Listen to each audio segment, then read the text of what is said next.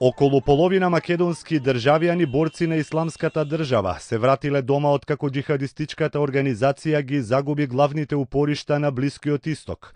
Со тоа според професорот по безбедност Злате Димовски, овие исламисти стануваат потенцијална опасност по безбедноста на земјата, особено од аспект на промовирањето на джихадизмот и на регрутирањето нови борци.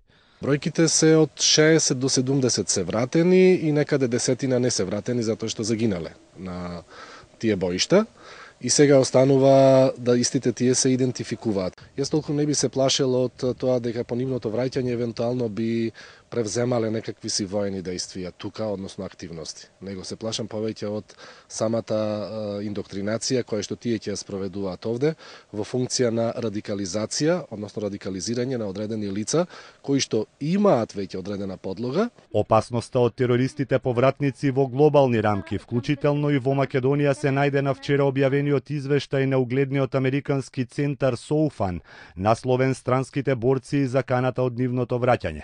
Македонија во извештајот фигурира со 140 борци, Босна со 250, Косово со 320, од кои 120 веќе се вратиле дома.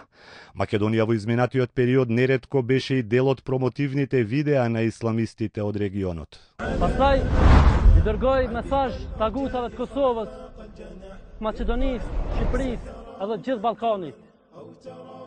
Mos mendoni se ne kemi harruar për zullumin të cilët ju ja bëni muslimanëve. Wallahi do të vinë ditë të zeza për juve.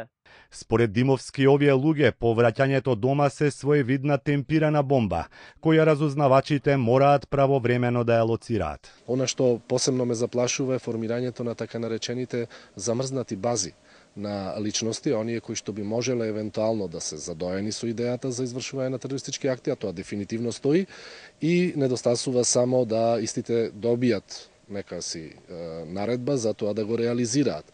И тие би функционирале како замрзнати бази, односно кели. Во американскиот извештај се наведува дека 5600 борци се вратиле во матичните земји по поразите во Ирак и во Сирија.